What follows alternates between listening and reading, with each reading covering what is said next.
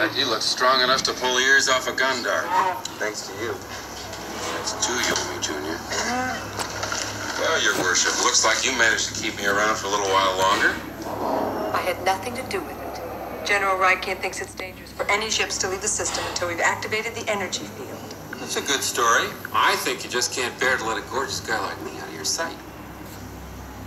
I don't know where you get your delusions, laser brain. Laugh it up, fuzzball. But you didn't see us alone in the South Passage. She expressed her true feelings for me. What?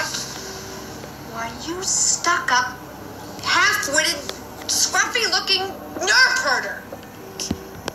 Who's scruffy looking? You must have hit pretty close to the mark to get all riled up like that, huh, kid? I guess you don't know everything about women yet.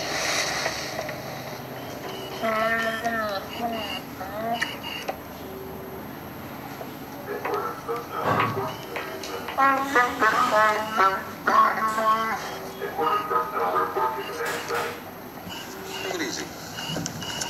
Excuse us, please.